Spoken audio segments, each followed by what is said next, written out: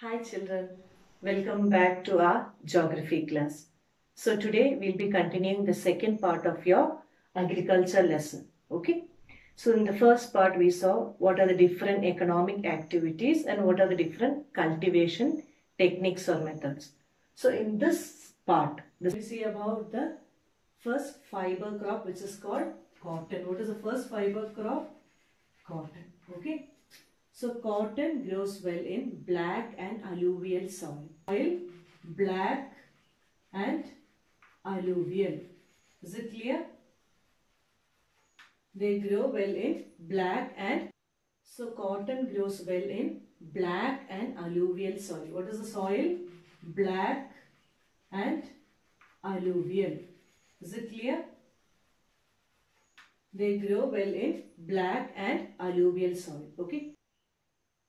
So coming to the climate, they require high temperature, okay, high temperature, low rainfall, low rain and 210 frost free days, okay. What is it? 210 frost free days with medium sunshine. Is it clear? So this is the climatic condition for the cultivation of cotton. Okay. Now we shall see the region or area where they are cultivated. Okay. So the regions are China, USA, India. Okay. Which are the three regions? China, USA and India. Okay. And you know cotton is the main raw material for your cotton textile industry. Okay. So your second one is called jute. What is the second fiber crop?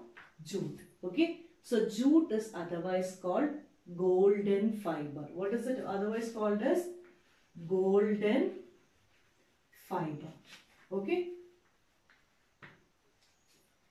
Jute is otherwise called as golden fiber. They grow well in alluvial soil. What is the soil? Alluvial soil. Is it clear?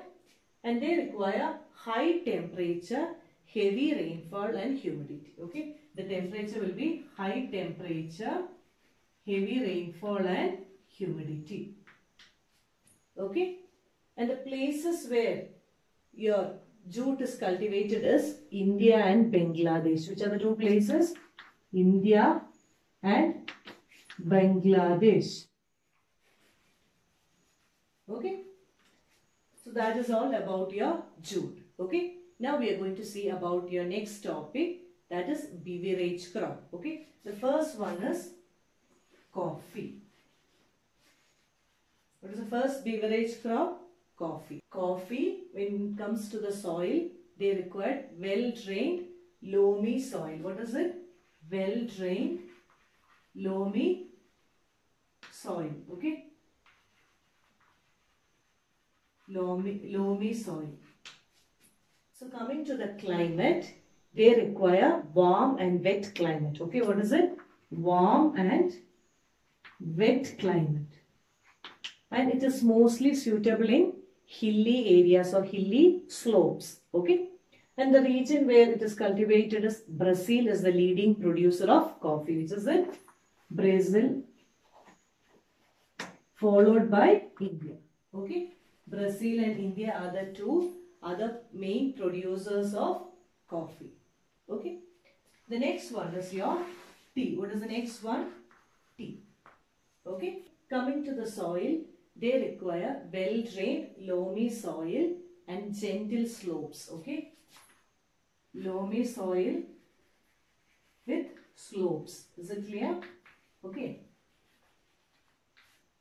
Now, coming to your climate, they require cool climate and well distributed rainfall throughout the year so that the leaves, the tender leaves, new leaves comes out. Okay. You know, the leaf is the yield what you get from your tea. So in order to pluck that you require a lot of labors. Okay. So the places where they are cultivated are Kenya, India, China. Okay. Kenya, India and China. Is it clear? So now shall we have a recap of this one? Okay, so we saw there are two types of fiber crops. They are cotton and jute. So cotton requires black alluvial soil and they require high temperature, low rain and 210 days, 210 frost free days and bright sunshine. And the region where they are cultivated are China, USA and India. The second fiber crop is called jute. So jute is otherwise called golden fiber. What is jute otherwise called? Golden fiber. So the soil is alluvial soil. The climate is in high temperature and rain. Places are India and Bangladesh. Next two are your beverage crops. The first one is coffee. So coffee requires well-drained loamy soil. The climate is warm and wet. Places are Brazil and India. And the last one is tea. So tea requires low, well-drained loamy soil and it is requires gentle slopes. The climate is cool and well distributed rainfall throughout the year. Places are Kenya, India and China. So with this the major crops title is over. So your last title is agriculture development. What is the title? Agriculture development. Agriculture development refers to the efforts taken to improve your farm production or increase your farm production to meet the growing demand of increasing population. Okay. So this agriculture development can be increased by increasing your crop area. Okay. First thing you can increase your crop area. Second thing cultivating different crops. Okay. Third using high yielding variety seeds. Okay. Which gives you more yield improving your irrigation facilities, using more manures and fertilizers. And the last one is using mechanization, using more machines. So the labor will be less, the work will be done very fast. Okay. So by using all these methods, you can increase your production. Thus achieving the goal to meet the increasing population demand. Is it clear?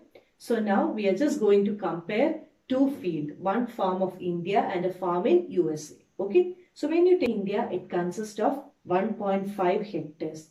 But when you take a farmland in USA, it consists of 250 hectares. Is it clear? So here the volume of land is very less. There the volume of land is very big. Okay. The second thing, here we use simple machines. And in USA, farmers use modern methods of agriculture that is precision farming, greenhouse cultivation. But in India, they use the local methods of machineries.